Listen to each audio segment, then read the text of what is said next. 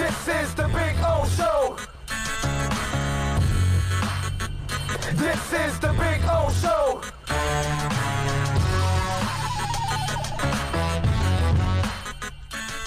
So, uh, one of the things that uh, I want to start talking a little bit about is uh, Dolphins because that's kind of in the news.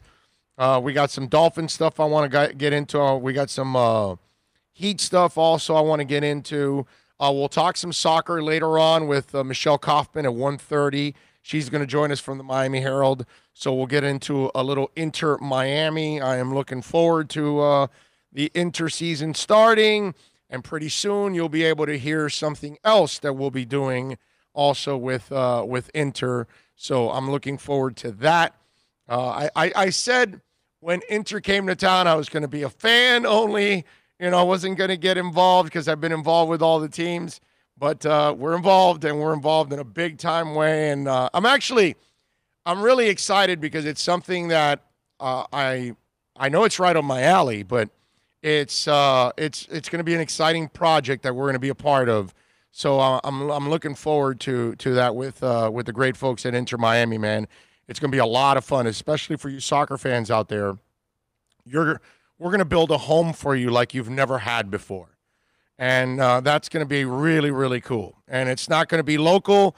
It's not just going to be national. It's going to be also international, and uh, that's that's going to be a, a lot of fun. What do we got here? Uh, NorCal says breaking news: perfect wake and bake weather out in Cali. Streaming Big O radio show from the foothills. Like and share chat borders. There we go. I like it. Like, share, subscribe, do all of that while you're watching, folks. Make sure you subscribe. Make sure you share. That's the most important thing you do is share the link of the show with people, whether it's the iTunes link, Spotify, Stitcher, YouTube, however you watch and support our show, share the link with a friend.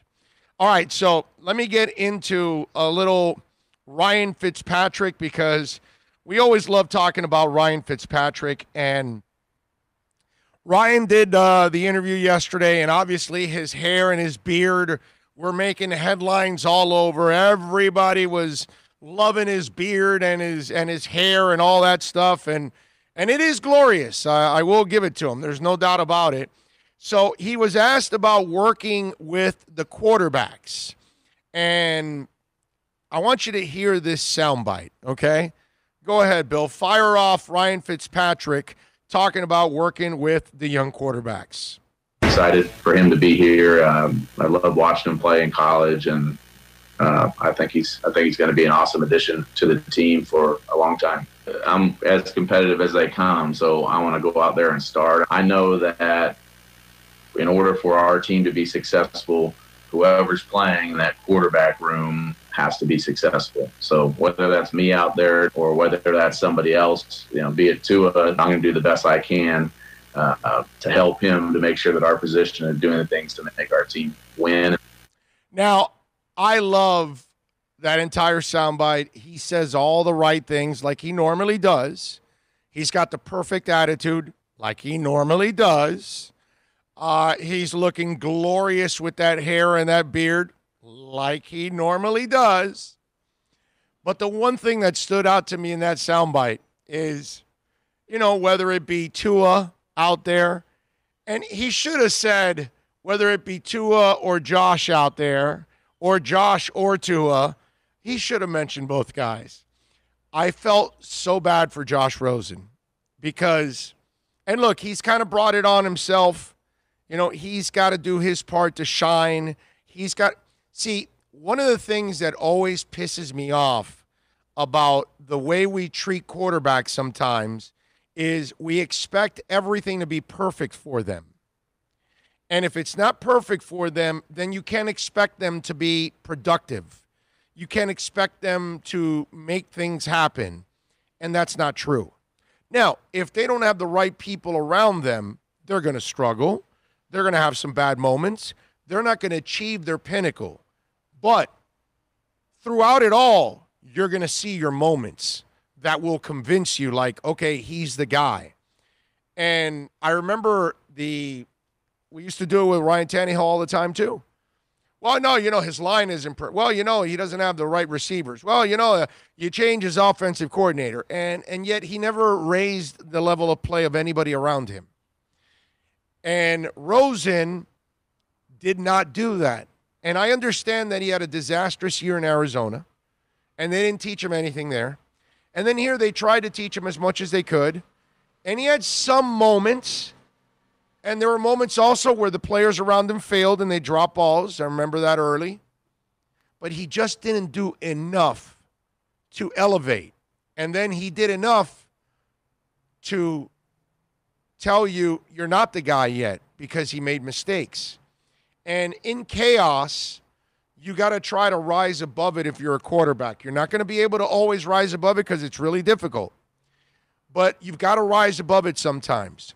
You've got to make some plays sometimes. There are moments where you have to show that you are the difference in the play. And that's what you saw in Ryan Fitzpatrick last year. In chaos, while lines were breaking down, while running game wasn't working, while players were inconsistent, he found a way to make a play or two every once in a while.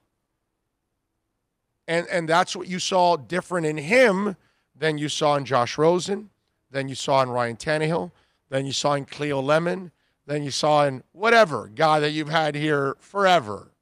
Okay?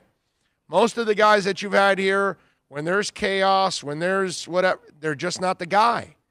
So they fold because they can't raise everybody above them.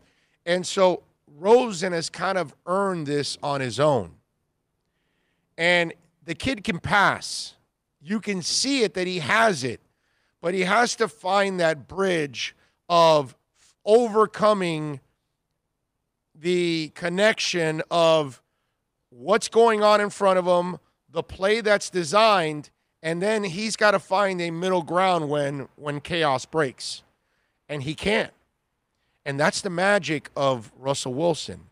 And that's the magic of Pat Mahomes. And that's the magic of Tom Brady. And that's the ma- what my point is, that's the magic of Deshaun Watson. When you're a good quarterback, you find a way to make plays. You're not going to make them all the time because nobody does. But you got to do it moments that you're going to convince us you're the guy. And then when you hear Fitz's soundbite and he mentions Tua, look, you and I know they drafted Tua because he's the guy.